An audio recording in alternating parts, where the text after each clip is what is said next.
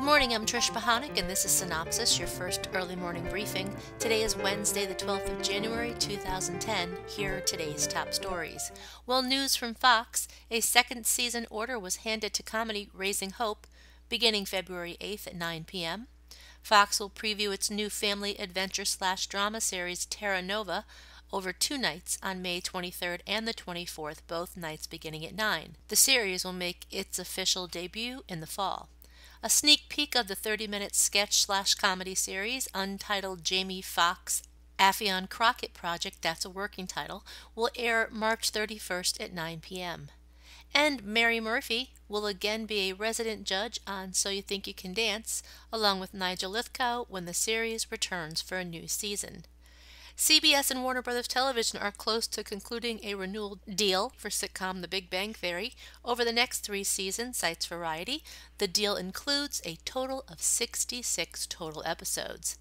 And ABC is readying a new comedy pilot from 20th Century Fox titled Don't Trust the Bitch in Apartment 23. Whoa. Monday's Bowl Championship Series National Championship game on ESPN has become the most watched program in cable television history. The Auburn versus Oregon game averaged 27.3 million total viewers per Nielsen. And during its launch period of January 1st through the 9th, OWN, the Oprah Winfrey Network, averaged a 0.55 rating and 505,000 total viewers in prime time.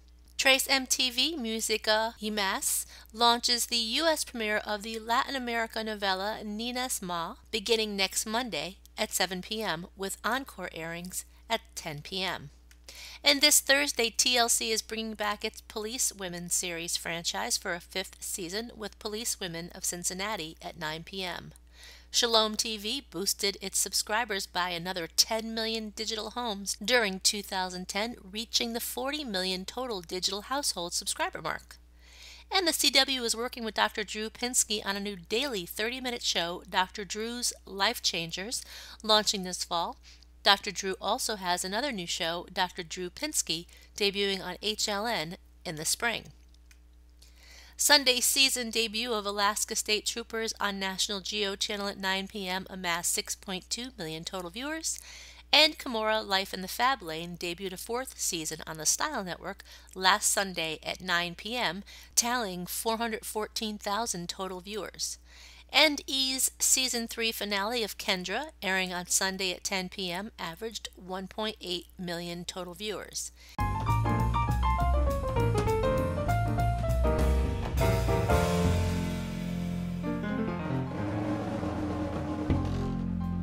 And on that note, that's a wrap. Be sure to check your email for the full printed version of today's Cynopsis with new executive moves and raw ratings, some new classified ads, a few other bits and pieces that did not make it into this podcast, and be sure to check out tonight's primetime broadcast lineup. This is a Cynopsis Media production in association with 311 West. For Cynthia Turner, who wrote and compiled Cynopsis in Connecticut, I'm Trish Pahanik. I'm gonna have a good day if I make it myself, I'm gonna have a good day. I don't need no one else, I'm gonna have a good day. Nothing wrong I could do, I'm gonna have a good day. Hope you have a good day too.